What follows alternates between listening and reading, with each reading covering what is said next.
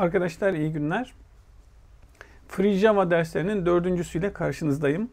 Bugün size data casting ve wrapper classes konusunu anlatmaya çalışacağım. Arkadaşlar data data casting ya da datayı farklı data türüne çevirme. Türkçesi de data olduğu için bazen data casting diye isim geliyor ama hani Türkçe İngilizce beraber olsun istemiyorum. Data casting arkadaşlar datayı olduğu data türünden farklı bir data türüne çevirmeye denir. Ama tabii ki siz de takdir ederseniz her data türü birbirine çevrilemez. Mesela string bir data türünü arkadaşlar mesela Ali gel bunu integer'a çeviremezsiniz.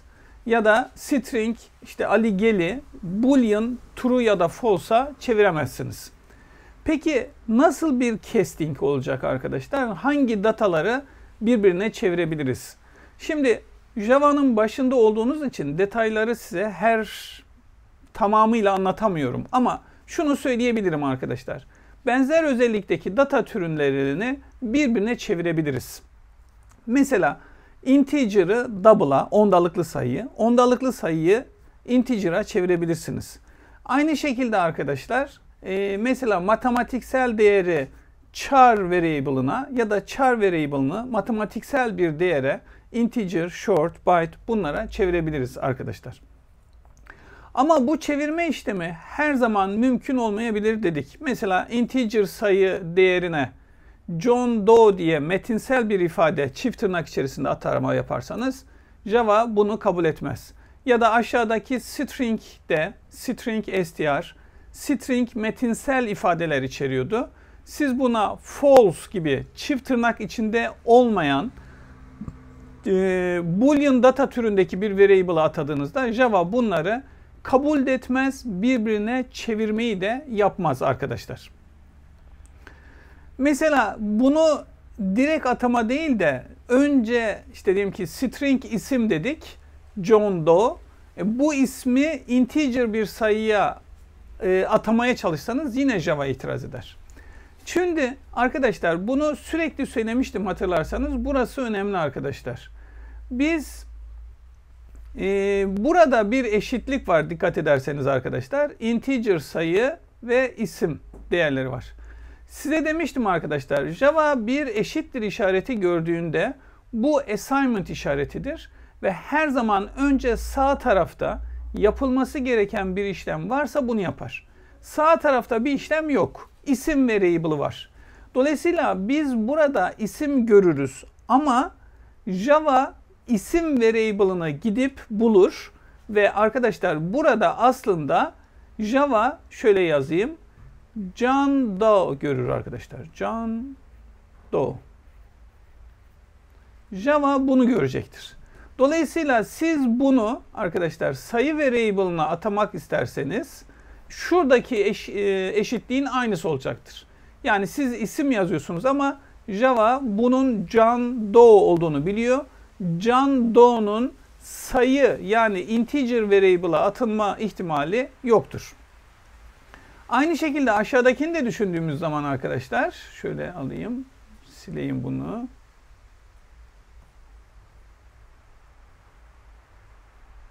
Okay. Aşağıdakini de alacak olsam arkadaşlar. Bakınız burada doğru mu diye bir variable var.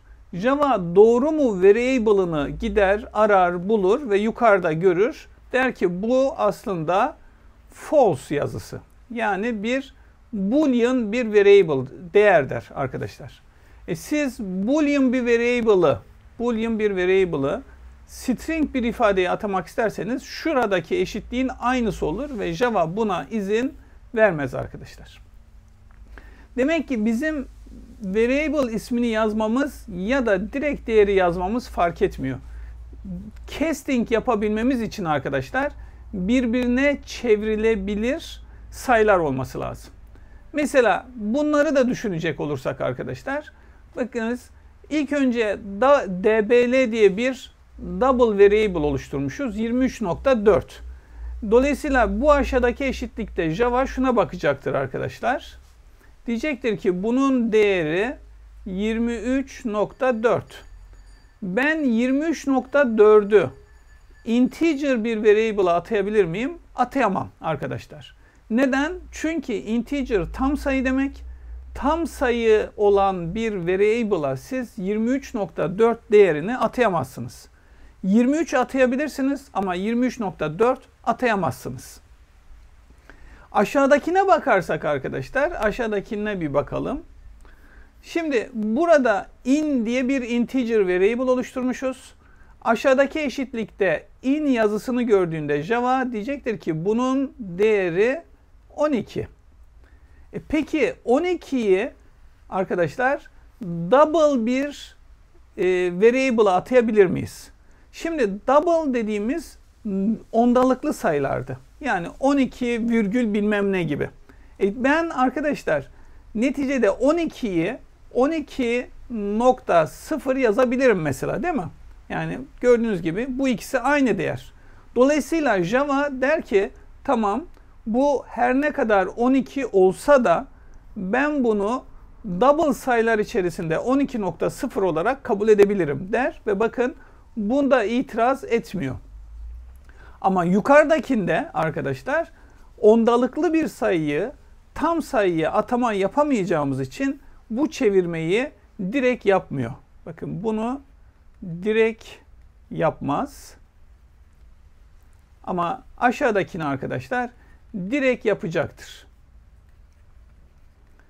Şimdi bunun için işte arkadaşlar biz Java'da şöyle bir şey konuşuyoruz. Yani daha geniş, daha kapsamlı data türü, daha dar kapsamlı data türü. Bunlardan bahsediyoruz arkadaşlar. Şimdi bunları düşünecek olursanız mesela double arkadaşlar bildiğiniz gibi ondalıklı sayı demek ve hani matematikten de belki bazı arkadaşlar bilecektir. Reel sayılara karşılık geliyor şeydeki e, matematikteki reel sayılara denk geliyor. Reel sayılar kümesi arkadaşlar tam sayılar kümesini kapsar diyorduk. Matematik anlatırken böyle anlatılıyordu. Dolayısıyla eğer bu şekilde bir kapsama söz konusuysa arkadaşlar direkt çevirme yapacaktır. Ama hani biz matematiği çok bilmiyoruz. Kapsamak, geniş, reel sayılar oralarla ilgilenmek istemiyoruz derseniz arkadaşlar biraz önce söylediğim daha geniş kapsam ya da daha dar kapsam kavramlarıyla bu konuyu halledebiliriz. Peki bunları nasıl halledeceğiz arkadaşlar? Biz biliyorduk ki arkadaşlar bunu zaten yazdık. Altı kırmızı çizgili ise arkadaşlar orada bir problem vardır ve onu halletmezseniz Java'da klasınız daha doğrusu projenizin hiçbir klası çalışmayacaktır. Yani herhangi bir yerde altı kırmızı çizgili bir yer varsa orayı çözmeden hiçbir kodunuz çalışmaz arkadaşlar. Şimdi biraz önce de dersin başında da söylediğim gibi arkadaşlar Java'da hem primitif hem de non-primitif data türlerinde data casting yapmak mümkündür. Ama siz daha dördüncü derstesiniz. Hani öyle derin konulara sonra girmek üzere. Şimdilik data casting'in ne olduğunu göstermek için primitifler üzerinden arkadaşlar size konuyu anlatmaya çalışacağım. Arkadaşlar data casting'i biz ikiye ayırıyoruz. Biraz önce de hani double'la integer'ı birbirine çevirirken pardon ifade etmeye çalışmıştım. Eğer otomatik olarak Java yapıyorsa arkadaşlar buna implicit data casting ya da otomatik genişletme diyoruz. Şimdi arkadaşlar sayısal data türlerini karşılaştırdığınız zaman bakın bu byte kova şeklinde çizdim. Hani ne kadar kovaya benzedi bilemem arkadaşlar ama bunların kova olduğunu düşünün. Şimdi hatırlarsanız primitif data türlerini anlatırken byte en küçük kapsamlı olan, en dar kapsamlı olandı. Eksi 128'de artı 128 arasını alıyordu. Short onun bir üstü, integer onun bir üstü, long onun bir üstü, float onun bir üstü, double da onun bir üstüydü. Dolayısıyla her seferinde kapsam biraz büyüyor arkadaşlar. Hatırlayalım. Peki bu kapsamı kovayla niçin çizdim arkadaşlar? Şöyle düşünün. Siz mesela arkadaşlar byte bir data türünü, byte bir data türündeki bir veriyi short'a çevirmek isterseniz. Şimdi byte'ın içerisindeki sayı kaç olursa olsun Yani şu kovanın kapsamı ne kadar dolu olursa olsun, ağzına kadar bile dolu olsa, siz bunu short kovasının içerisine boşaltmak istediğinizde rahatlıkla büyük kova küçük kovayı içine alacaktır arkadaşlar. Yani büyük kova küçük kovanın içindeki suyu öyle diyelim rahatlıkla içine alacaktır. E, integer'ı long'a çevirmek istiyorum. E, long daha büyük kova. Dolayısıyla integer'ın içindeki sayı kaç olursa olsun. İster 1 olsun, ister 1000 olsun, ister 1 milyon olsun. Önemli değil. Bu daha küçük olduğu için integer'ın kovası daha büyük bir kovaya sığacaktır. Ama tersini düşünürseniz arkadaşlar mesela float'ı diyelim ki float'ı short'a atamak istiyorum. Şimdi şöyle düşünürsünüz. Mesela float'ın dibinde çok küçük az su vardır. Şu kadar mini minicik bir su vardır. E o zaman short'a sığabilir. Kesin sığar diyemeyiz. E çoksa eğer bu defa ağzına kadar doluysa arkadaşlar şöyle ağzına kadar doluysa e bu kadar büyük kovadaki suyu bu küçük kovadaki küçük kovanın alma ihtimali yok. E ne yaparım? Bir kere doldururum, boşaltırım. Sonra bir daha doldururum, boşaltırım. Artık 2-3 kere bu short kovası dolup boşaldıktan sonra kalan kısmı belki alabilir. Ama var olan haliyle sığıp sığmayacağı konusunda kesin bir şey söyleyemeyiz. Sığabilir, sığmama ihtimali de yüksektir. Onun için Java bize arkadaşlar bunu kabul etmeyecektir. Yani büyük kovadaki daha geniş kapsamlı bir sayıyı daha dar kapsamlı bir data türüne çevirmek istediğimde Java bunu otomatik olarak kabul etmeyecektir arkadaşlar. Mesela byte veri türünde arkadaşlar byte data türünde bir variable oluşturduk a. Değeri de 12. Çünkü zaten eksi 128'de artı 128 arasında alıyordu. Şimdi bunu integer bir dataya aktarmak istersek, integer bir variable'a atamak istersek, biraz önceki gibi yapacak olursam arkadaşlar, kalemi alayım. Her ne kadar burası a olsa da Java burada 12'yi bulur ve 12'yi görürdü. Ama Java daha çok şunu düşünür. Der ki a'nın data türüne byte yükleyeceğim e, data türüne integer. Byte mı daha dar kapsamlı, daha mı geniş kapsamlı? Öyle soralım. Dar kapsamlı değil mi? Byte integer'a göre düşündüğümüzde daha dar kapsamlıdır. Burada da görüyorsunuz byte ve integer. Dolayısıyla der ki bakın e, değer bu arkadaşlar. Variable bu. E, dolayısıyla ben byte bir değeri integer bir variable'a rahatlıkla arkadaşlar atayabilirim. Çünkü her halükarda küçük kovanın içindeki su büyük kovaya sığacaktır. Dolayısıyla da Java burada itiraz etmez.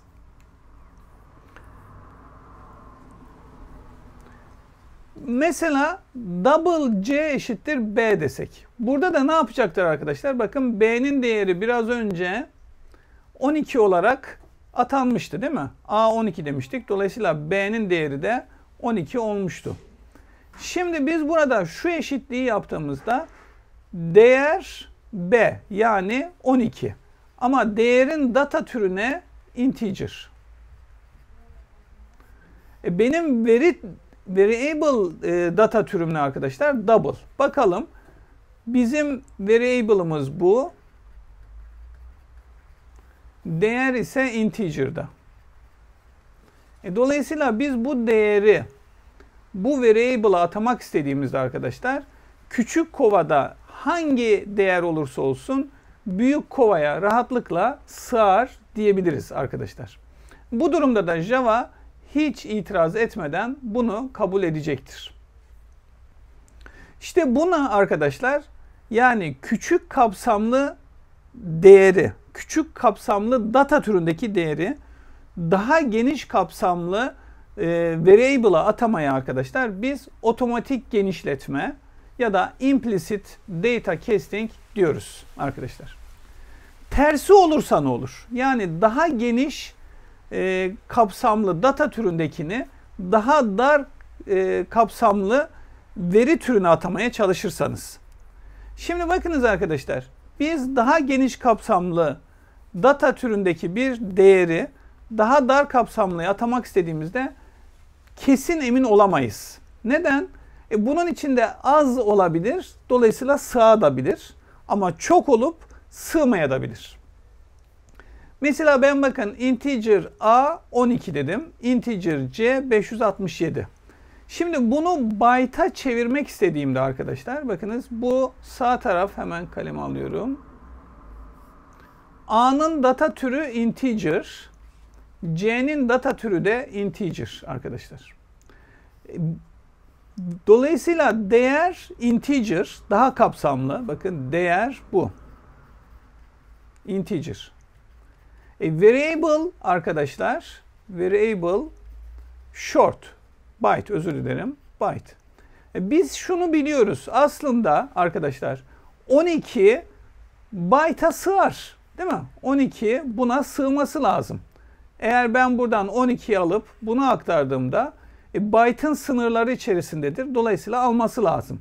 Ama 567'yi atamak istediğimde arkadaşlar 567 buna sığmaz. Çünkü byte hatırlayacağınız gibi eksi 128 ile arkadaşlar artı 127 arasındaydı.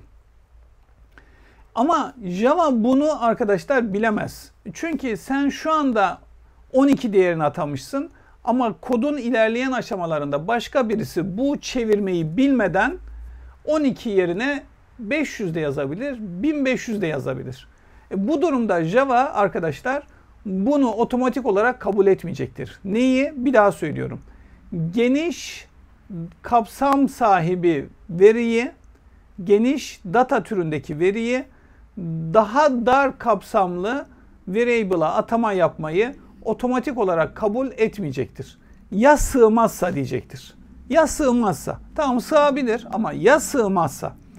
Bu sığmama durumunda arkadaşlar sorumluluğu sizin almanızı ister Java. Ne demek sorumluluğu sizin almanız? Diyeceksiniz ki arkadaşlar ben kardeşim sonuç ne olursa olsun ben bu çevirmeyi yapmak istiyorum. Eğer bunu derseniz arkadaşlar Java bu çevirmeyi yapmanıza izin verecektir. Tamam. Şimdi bunu size gözlerinizle göstermek istiyorum arkadaşlar. Hemen gelelim projemize ve yeni bir package oluşturalım. Package'ımızın adı, pardon, new package. Package'ımızın adı ders 04 data casting diyelim. Bir tane de class açalım arkadaşlar. Java class açalım. C01 data casting. Şimdi arkadaşlar biraz önce gösterdiğimiz gibi yapalım. Integer a eşittir 134 olsun. Sonra double b eşittir 23.4 olsun. Nokta olacak arkadaşlar. Sonra short farklı data türleri olsun diye yapıyorum. c eşittir 34 ve byte arkadaşlar d eşittir ondan sonra byte da 15 olsun 14 olsun. Şimdi biz arkadaşlar yeni bir data oluşturacağız. Mesela double diyorum arkadaşlar. Double e eşittir a desem. Java kabul eder mi? Bakınız hemen kabul ediyor. Neden arkadaşlar? Java şuna bakar. Atayacağım değer değer diyorum bakın. Değerin kapsamı ne? Integer. Değerin data türü integer. Sonra şuna bakar. Variable variable'ın data türü ondan sonra değerinkinden geniş. Değerin data türünden daha geniş. Daha genişse otomatik atama yapar. Gördüğünüz gibi arkadaşlar. Başka bir tane yapıyorum bakın. Integer f eşittir ne olsun arkadaşlar? c. Buna da bakalım arkadaşlar. Değerinkisi şöyle yapıyorum. Değerin data türü. Değerin data türü short. Doğru mu arkadaşlar? Değerin data türü short. Dolayısıyla bu variable'ın data türünden daha küçük. Variable'ın data türünden daha küçük. Dolayısıyla sorun yok. Yani short'un short'un kovası integer'dan küçük. Dolayısıyla rahatlıkla doldurabiliriz. Bir tane daha yapıyorum arkadaşlar. Mesela ne olsun? Short e, fg eşittir arkadaşlar. Bu da d olsun. Bakın bunda da problem yok arkadaşlar. Bunda da değerin data türü değerin data türü d'nin data türü byte arkadaşlar. Byte küçüktür. Variable'ın data türü short. Dolayısıyla hiçbir sorun olmadan otomatik olarak otomatik olarak çevirir. Buna zaten arkadaşlar auto widening, otomatik genişletme diyoruz.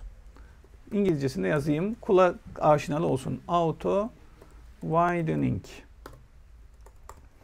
Ama tersini düşünelim bakın arkadaşlar. Mesela ben short yeni bir tane daha oluşturdum. H. Ve buna arkadaşlar B variable'ını atamak istiyorum. Java kabul etmedi arkadaşlar. Neden? Çünkü bakınız arkadaşlar bizim variable'ımızın data türü variable data türü short. E bu arkadaşlar variable'ın data türü biraz önce şurada eşitliği ters yazmış olabilirim. Yani şöyle yapmak daha mantıklı olabilir. Short büyüktür byte yapalım. Yani sol taraf çünkü bizim için daha önemli. Short büyüktür byte. Sağ taraf byte'dı arkadaşlar. Short daha büyük olduğu için otomatik genişletme yapabilir. Buraya geldiğimizde variable'ın data türü short. Bu arkadaşlar pardon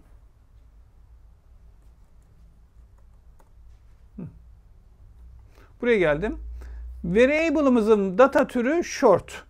Bu arkadaşlar değerimizin data türü yani B'nin data türü double'dan küçük. B'nin data türü. E, dolayısıyla diyor ki bakın sol tarafta atama yapılacak data türü daha küçük. Sığmayabilir.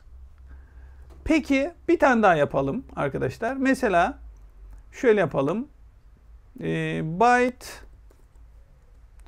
ondan sonra L olsun eşittir A. Bakın bunu da kabul etmedi. Neden? Sol tarafın data türü variable data türü arkadaşlar. Variable data türü byte. E, bu atama yapacağımız değer olan A'nın data türünden. A'nın data türü ne? Integer.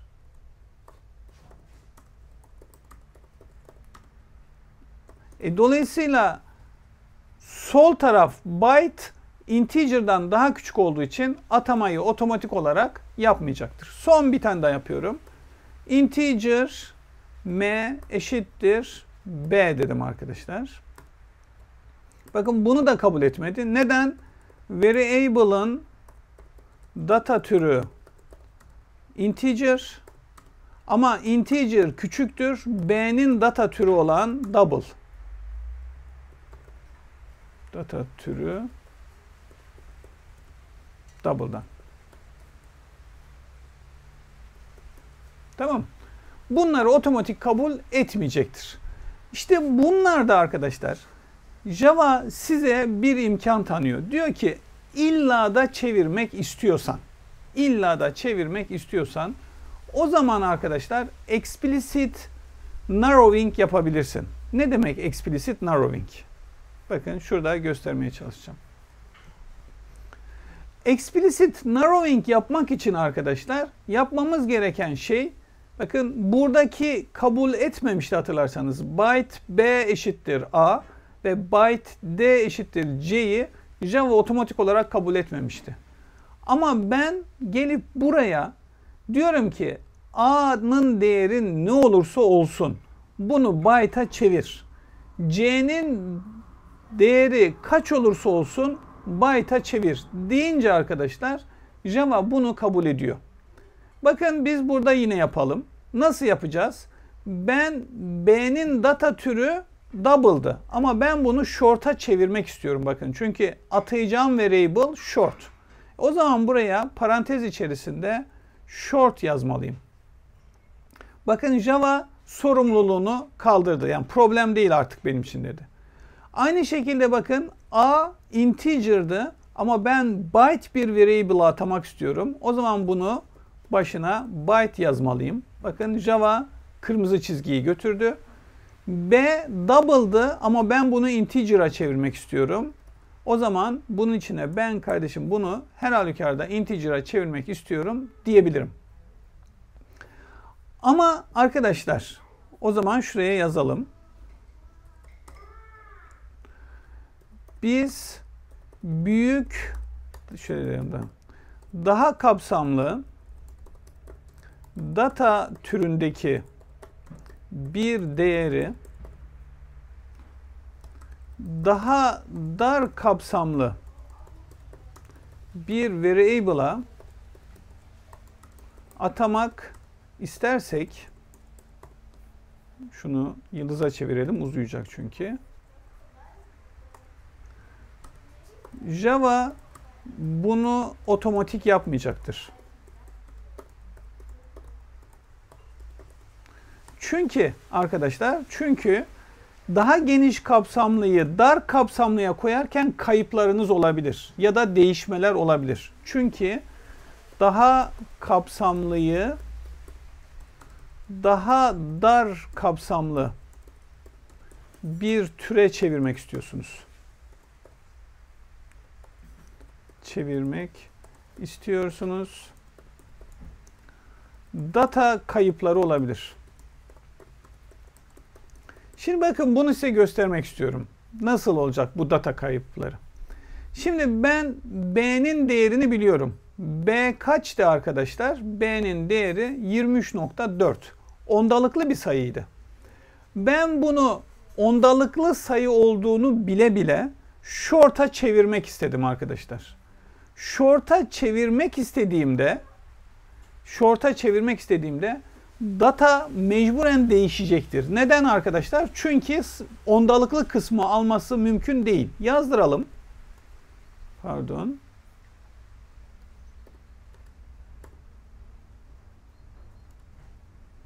Bu arada arkadaşlar ben main metot oluşturmamışım. Hemen main metodu alıyorum bunu.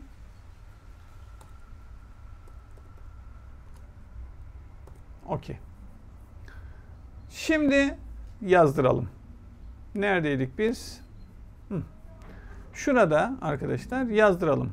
South ondan sonra hey yazdıracağız bakın. Hey yazdıracağım. B'nin değeri B double'dı ve 23'tü. Double 23.4'ün short karşılığı diyorum arkadaşlar.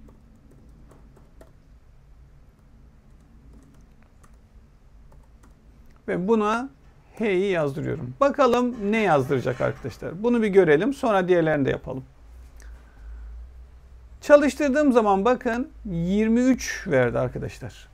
Normalde bizim double'ımız 23.4'tü ama sen onu illa da short'a çevireceğim dersen short'un ondalıklı sayıyı alma şansı yok. Dolayısıyla ondalıklı kısmını attı ve bize sadece 23 verdi.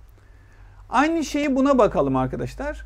Bakın byte A'mız neydi bizim? A'mız integer'dı. 134. Bunu byte'a çevirmişiz. Bakalım ne olmuş arkadaşlar? South integer 134'ün byte karşılığı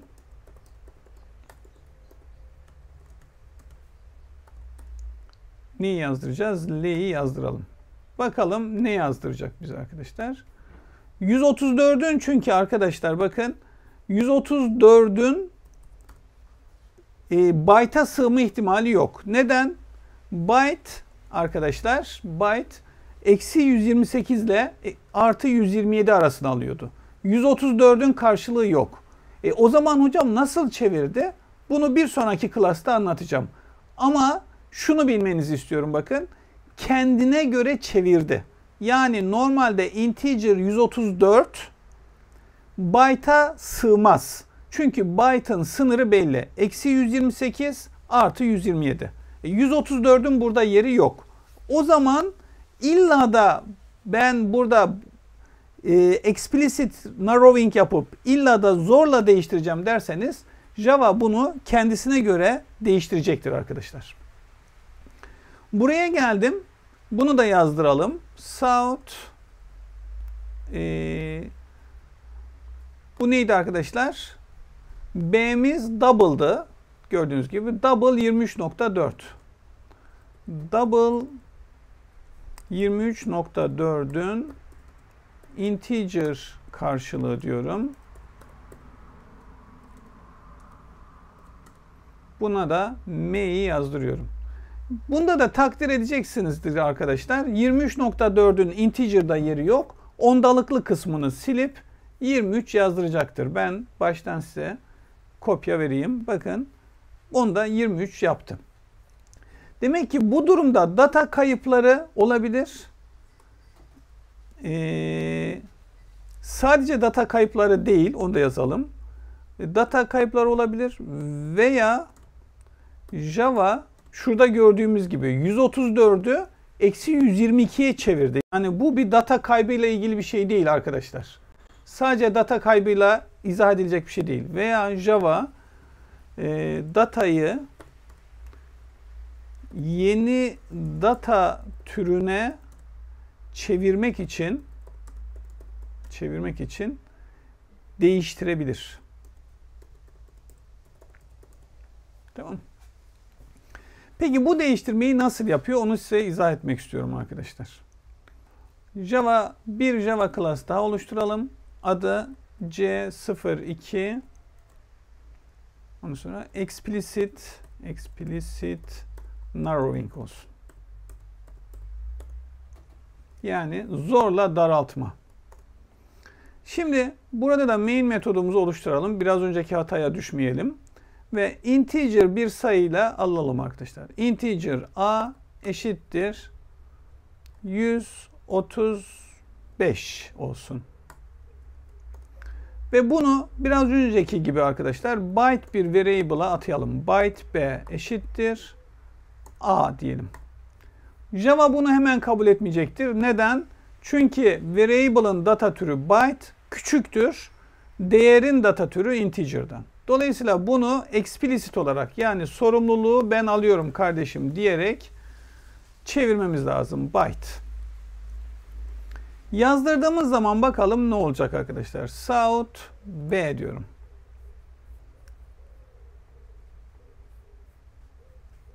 Bakınız eksi 121 dedi. Nedenini şimdi anlatmaya çalışacağım arkadaşlar. Pardon. Şu kalemi almam lazım. Okey. Hmm, kalemi burada ama kalem buraya niye gelmedi? Tamam geldi.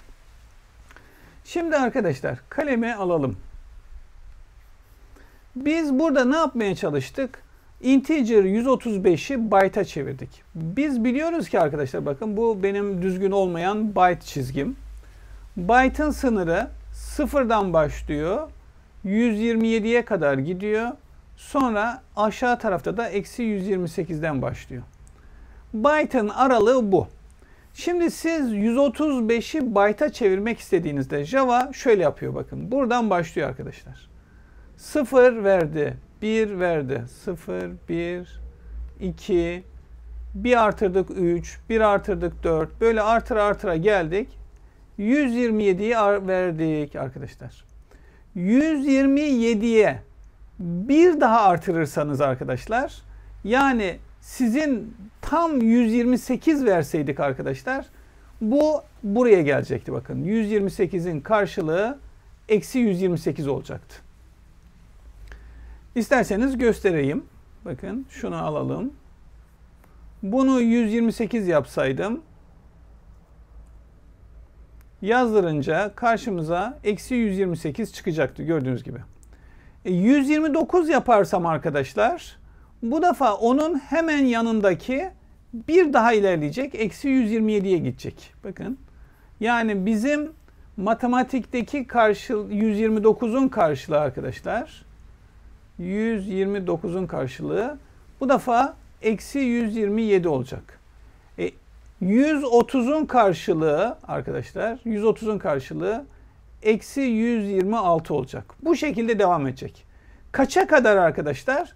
Buraya geldiğimizde 256 dediğimizde 256 sıfıra denk gelecektir. Bakalım. Bunu 256 yapıyorum. Pardon. Ve çalıştırıyorum. Gördüğünüz gibi 256 sıfır. Daha büyütürsem mesela 260 yaparsam arkadaşlar ne olacaktır? 256'dan devam edecektir yolculuğuna ve 4 daha ilerleyip sadece 260'da neye denk olmuş olacak? 4'e denk gelmiş olacak gördüğünüz gibi. E 512 olsa arkadaşlar bakın 512 2 kere 256 döneceği için yine sıfıra gelecek. Gördüğünüz gibi. Ama 522 dersek bu defa 10 sayısı elimizde kalmış olacak. Gördüğünüz gibi 10 kalmış oldu. Yani biz arkadaşlar daha geniş data türündeki bunu yazmak istiyorum. Daha geniş kapsamlı sayısal data türünden daha dar kapsamlıya explicit narrowing daraltma ile casting yapmak istersek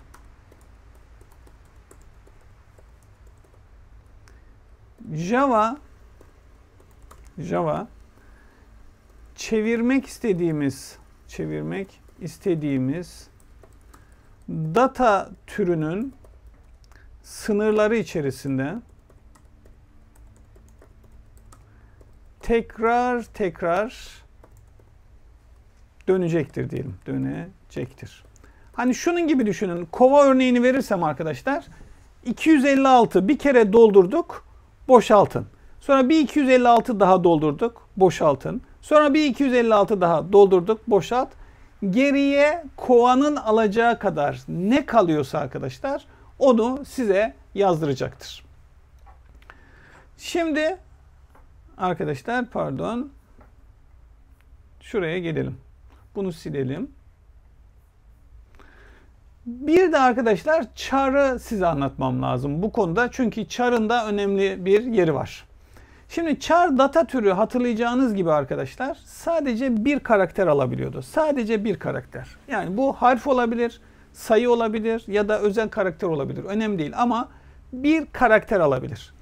Eğer char data türündeki bir variable'ı matematiksel işlemlerde kullanırsanız arkadaşlar ASCII kodlarına göre e, matematiksel işleme dahil olur. Ne demek ASCII kodu? Arkadaşlar internete ASCII yazarsanız ASCII kodları bunları göreceksiniz. Bu bütün dünya çapında geçerli olan harflerin ve karakterlerin matematiksel karşılıklarıdır arkadaşlar. Mesela normal büyük harfler burada başlıyor bakın 65, 66, 67 diye sıralı gidiyor. Küçük harfler ise 97, 98, 99 diye gidiyor. Bunları ezbere bilmeli miyiz? Yok. Mümkün değil zaten. Ama ben A'yı artık kullana kullana ezberledim. A'nın küçük A'nın değeri 97, büyük A'nın değeri 65. Eğer siz herhangi bir çar ifadeyi matematiksel işlemde kullanırsanız arkadaşlar bunları toplayacaktır. Bakın ben size bunu göstermek istiyorum. Pardon.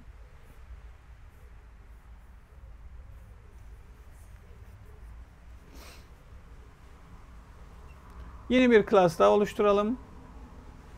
C03 ee, ne diyelim? Data casting char diyelim arkadaşlar. Main metodu oluşturalım. Bakın integer a eşittir char a artı char b diyorum arkadaşlar. Hani normalde a bir karakter, harf arkadaşlar. B de bir harf. Dolayısıyla hani A ile B'yi toplasan konkat işleminde görmüştük hatırlarsanız. Gördük mü? A ile B'yi yan yana getirip A, B yapması lazım. Ama bakınız burada ben yazdırınca A'yı yazdırınca arkadaşlar bakalım kaç verecek ya da ne verecek? A, B mi verecek? Bakın 195 verdi. 195.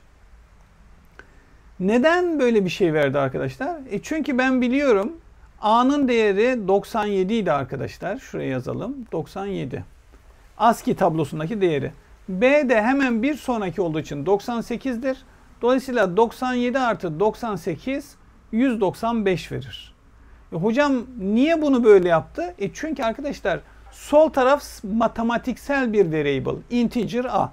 A artı B dediğim zaman bunu verir.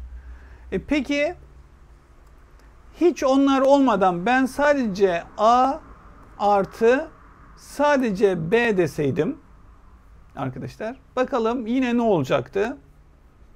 Gördüğünüz gibi yine 195 verecek. E neden hocam ben bu defa integer'a da atamadım ama aradaki işlem toplama işlemi gördüğünüz gibi.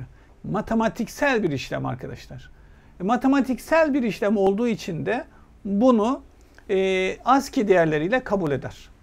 E hocam bunu ben A olarak yapmak istiyorum, char olarak yapmak istiyorum.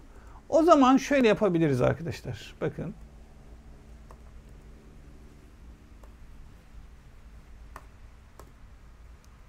Bakalım. Başına eğer yani A ve B'yi string olarak yazmak istiyorsanız başına bir hiçlik ekleyebiliriz arkadaşlar. Çünkü string güçlüdür. Topladığımızda bunu stringleştirecektir. A, B yapacaktır. Göstereyim.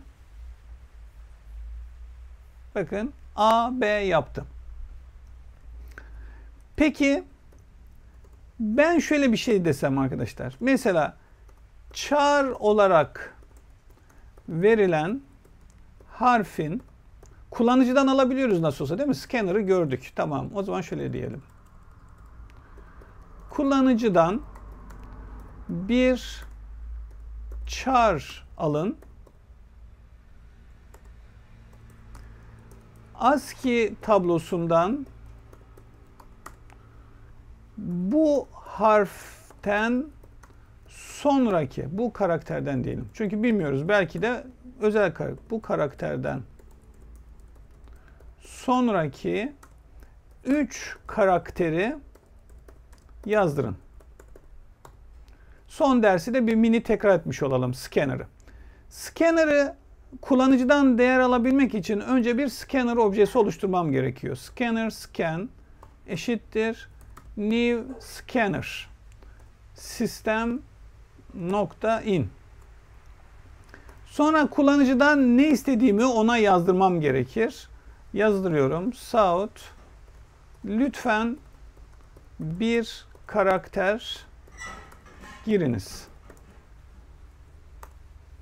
Sonra da arkadaşlar, sonra da bu karakteri girdikten sonra bunu alıp kaydetmem lazım. Char diyorum. Girilen karakter karakter eşittir. Scan objesini kullanacaktım. Next deyince bana ilk kelimeyi veriyordu. Ben ilk harfi istediğim için char et sıfır diyordum. Bakın şuraya yazdırıyorum. South girilen karakter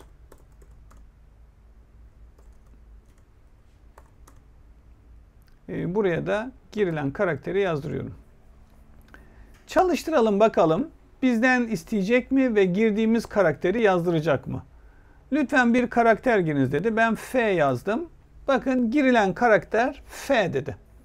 Şimdi girilen karakterin bir fazlasını yazdıralım arkadaşlar. Bir sonrasını. South girilen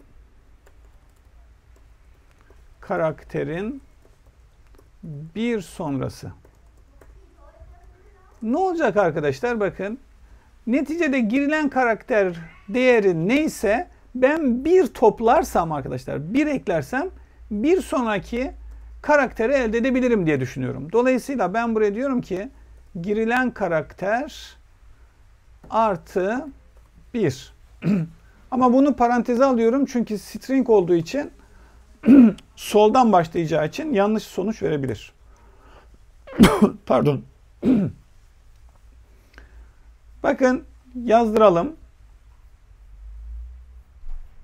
Lütfen bir karakter A girelim. Değerini bildiğimiz için. Bakalım ne olacak. Gördüğünüz gibi girilen karakterin bir sonrası 98 dedi arkadaşlar. Neden 98 dedi? Pardon. Çünkü A'nın değeri 97 idi. Bir toplarsanız 98 eder. E hocam biz bunun çar olarak karşılığını görmek istiyorsanız bunu işte arkadaşlar müdahale etmeniz lazım. Demeniz lazım ki bana bu sayının çar karşılığını ver. Yazdırıyorum. Bakın. Lütfen bir karakter giriniz. A. Bakın girilen karakter A. Girilen karakterin bir sonrası B. E, bir sonrasını da yazdıralım.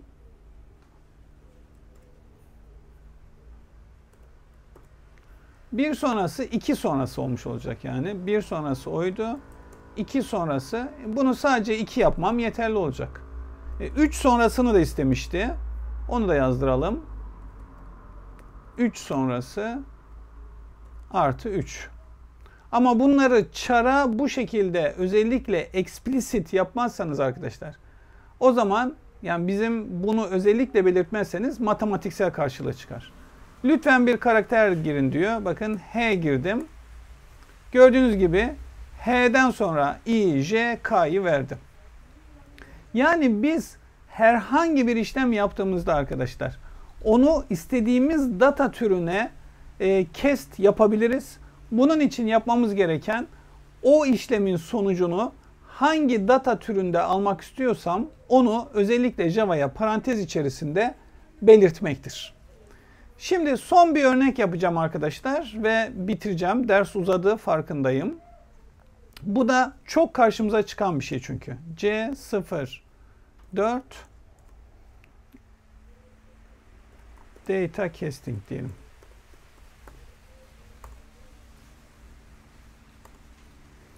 Şimdi diyorum ki arkadaşlar main metodu oluşturalım. Sorum şu olsun. Kullanıcıdan kullanıcıdan iki tam sayı alıp bunları birbirine birbirine bölün. Sonucu double olarak yazdırın. Şimdi yine kullanıcıdan iki tam sayı almam lazım. Bunun için scanner oluşturuyorum arkadaşlar. Scanner scan eşittir new scanner system nokta in.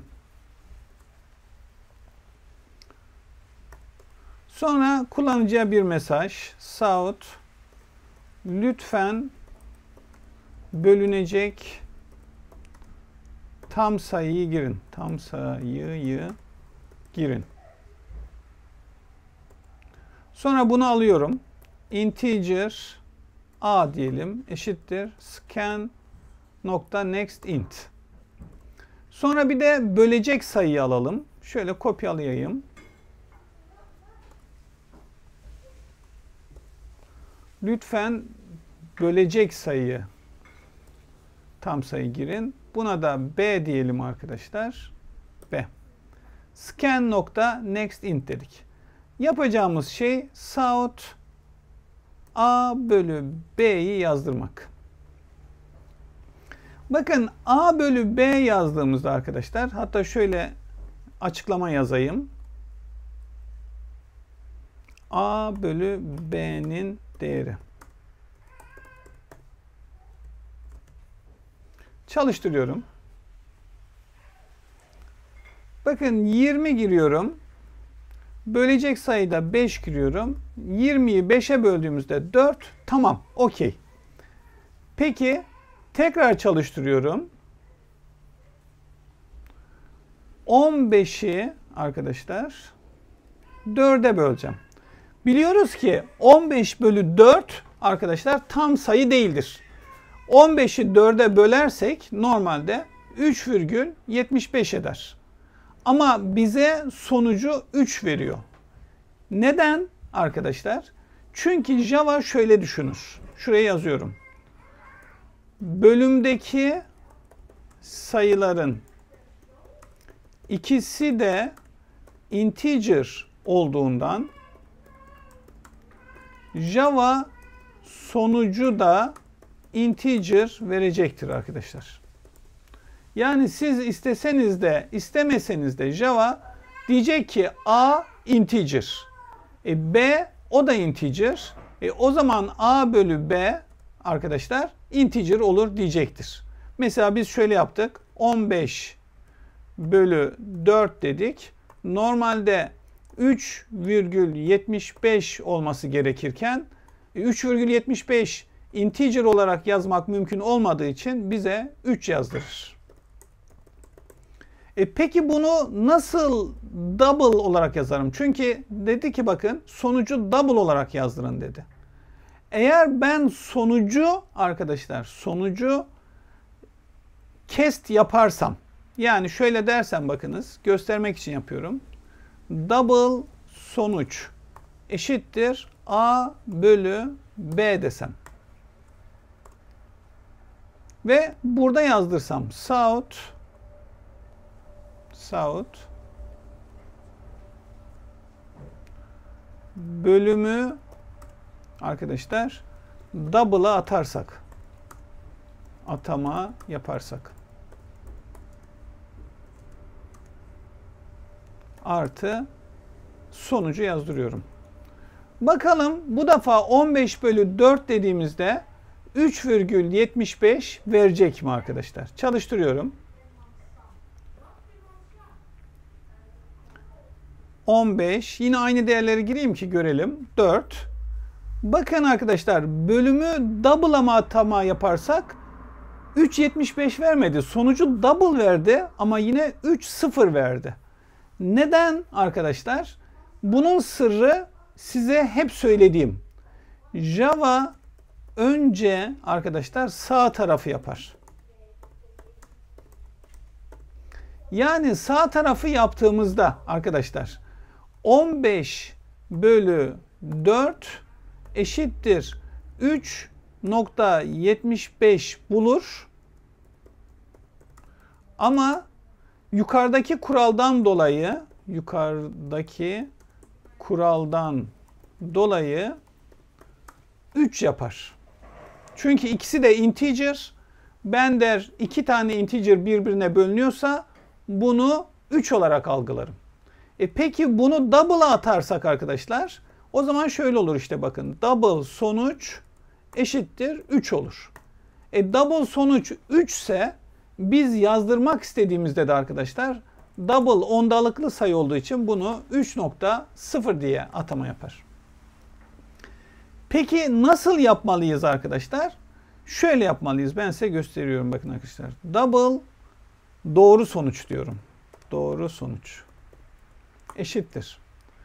A bölü B var ya arkadaşlar.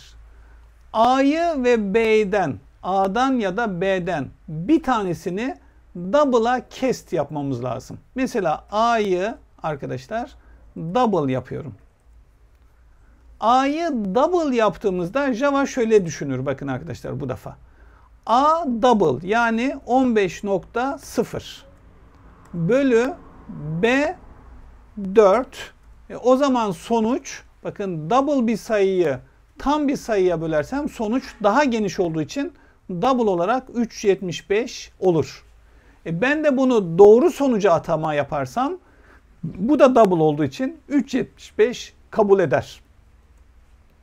Ve onu da yazdıralım ve dersi bitirelim. Diyorum ki doğru sonuç için bir sayıyı double'a cast yapınca